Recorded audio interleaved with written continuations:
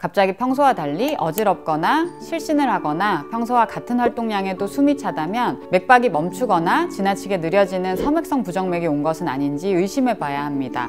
섬액성 부정맥의 원인과 환자분들께 낯설게 느껴질 수 있는 인공심박동기 치료에 대해 소개드리고자 합니다.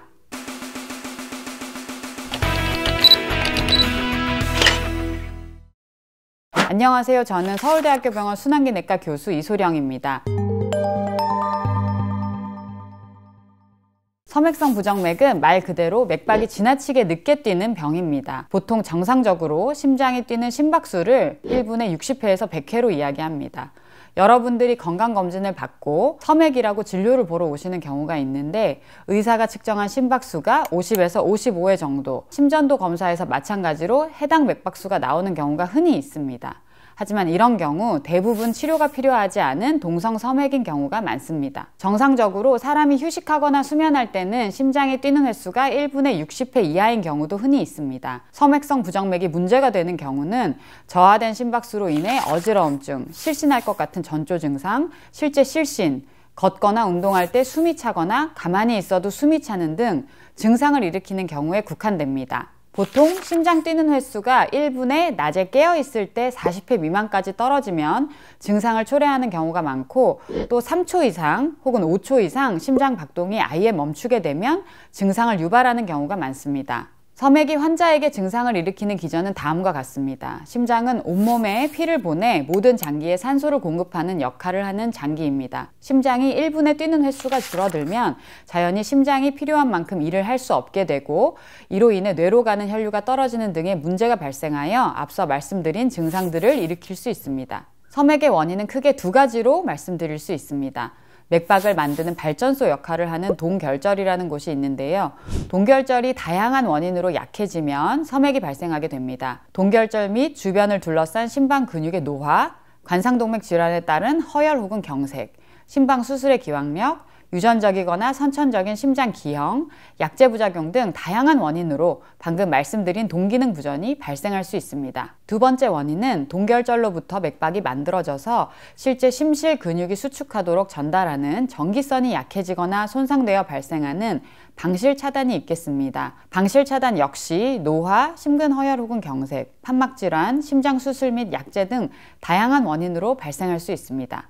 두 원인 모두 전반적으로 맥박이 느려져서 증상이 종일 지속되는 경우도 있지만 갑작스럽게 맥박 생성이 안 되거나 전도가 차단되는 환자분들도 있어서 갑작스러운 실신의 원인으로 섬액성 부정맥이 진단되기도 합니다. 섬액성 부정맥을 진단받은 환자분이 있다면 저희가 가장 먼저 고려하는 것은 섬액을 유발하는 가역적 상황이 있는지 살펴보는 것입니다. 가역적 원인 중에는 흔한 원인으로 약제가 있겠는데요. 항부정맥제 약제를 고용량 복용하고 계시거나 고혈압 약 중 일부 약제는 맥박을 느리게 하는 작용을 할 수 있기 때문에 해당 약제를 중단하고 섬액이 개선되는지 여부를 먼저 살펴보게 됩니다. 일부 가역적인 심장 질환이나 전해질 이상의 경우에도 기저 상태 호전 이후 섬액이 가역적일 수 있어 이 부분을 고려하게 됩니다. 하지만 가역적인 원인이 없는 증상이 있는 섬액이라면 결국 영구형 인공심박동기 삽입술이 궁극적인 치료가 되겠습니다. 흔히 환자분들과 진료실에서 의견의 간극이 생기는 부분이 바로 이 부분인데요. 환자분들은 약물 치료는 안 되나요? 라고 질문하시는 경우가 많습니다만 아쉽게도 섬액을 치료할 수 있는 경구약제는 없습니다. 일시적으로 맥박을 상승시킬 수 있는 주사약제만이 존재하기 때문에 비가역적인 원인으로 지속되는 섬액성 부정맥의 유일한 치료는 인공박동기 삽입이다라고 이해하시면 되겠습니다. 영구형 심박동기는 말 그대로 시술 이후 남은 여생 동안 심박동기와 함께 살아간다고 보시면 됩니다. 따라서 신체 밖에 유지하는 것이 아니라 체내에 완전히 삽입된 상태로 지내게 됩니다. 가장 흔하게는 왼쪽 빗장뼈 아래에 2.5에서 3cm 정도의 피부 절개를 하고 거기에 이렇게 생긴 박동기를 피하 주머니를 만들어 넣게 됩니다. 이 박동기는 컴퓨터 및 배터리 역할을 한다고 생각하시면 쉽습니다. 그리고 이 박동기 본체와 연결된 전극선이 쇄골화 정맥을 통해 우심방 및 우심실로 들어가게 됩니다. 환자 섬액성 질환의 특성 및 동반된 부정맥에 따라 박동기 선은 보통 두 개 혹은 한 개가 삽입되게 됩니다. 이 선은 심박 및 심실 근육에 단단히 고정되고 선을 통해서 박동기 컴퓨터가 24시간 내내 환자의 박동을 감지하며 우리가 세팅해 놓은 맥박보다 느리게 되는 것을 방지하여 인공 박동이 나가게 됩니다.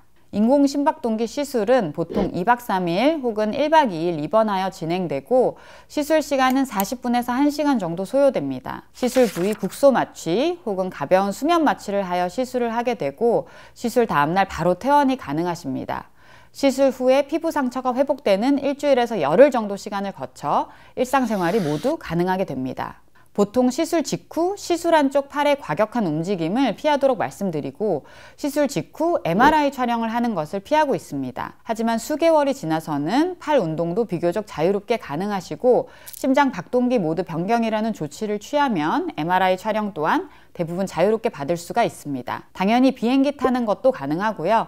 시술을 받은 뒤 발급받게 되는 마치 아이디 카드와 같은 것을 지참하시도록 설명드리고 있습니다. 박동기 배터리는 보통 수명이 10년 정도 간다고 보시면 되겠습니다. 물론 박동기가 얼마나 부지런히 일을 해야 하는지, 일하는데 소모되는 에너지가 많이 필요한지 적게 필요한지는 환자분에 따라 편차가 있는 경우가 있지만 보통 8년에서 13년 정도 배터리를 쓰고 배터리를 다 소모하게 되면 처음 시술할 때 절개했던 부분을 절개하여 배터리만 교체하는 간단한 시술을 받게 됩니다. 배터리 상태 및 박동기 상태는 환자분이 외래 진료를 보러 오셨을 때마다 박동기의 정보와 연동되는 동그란 기계를 박동기 부위에 살짝 올려두면 무선으로 체크를 할 수 있게 되어 있습니다. 지금까지 말씀드린 박동기는 전통적인 유선 박동기이고 최근 무선 박동기가 도입되어 활발히 시술되고 있습니다. 무선 박동기는 2021년 2월 서울대병원 저희 부정맥팀이 국내에서 첫 시술을 시행하였고 말 그대로 전극선이 없는 박동기라고 생각하시면 되겠습니다. 박동기 컴퓨터, 배터리, 선이 모두 일체형으로 이렇게 분필처럼 생긴 작은 기구에 모든 기능이 함께 들어가 있게 됩니다.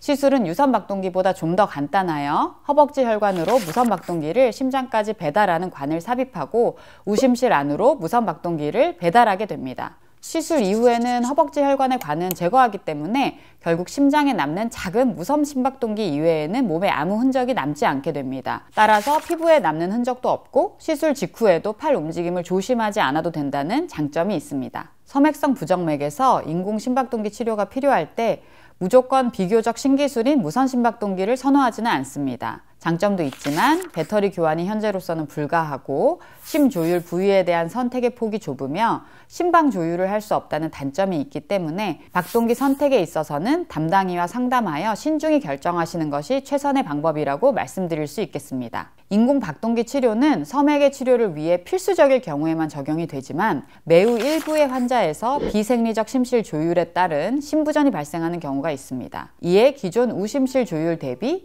더욱 원래 자기가 가지고 있던 심장 전기 전도계의 활성을 보존하는 방법인 심장 전도계 조율술이 세계적으로 활발히 시행되고 있으며 이는 전통적인 방법에 비해 더욱 생리적인 심실 수축을 가능하게 하고 심실 비동기화를 최소화하여 심부전 위험을 감소시킨다고 알려져 있습니다. 국내에는 2020년 하반기에 도입되었고 서울대병원 부정맥팀은 2020년 하반기부터 현재까지 약 3년간 200레가 넘는 시술 경험을 보유하고 있어 심장 전독의 조율술의 국내 선두주자라고 할 수 있겠습니다. 오늘 알려드린 이야기가 여러분의 섬액성 부정맥 진단과 치료에 도움이 되시길 바랍니다. 지금까지 순환기 내과 교수 이소령이었습니다.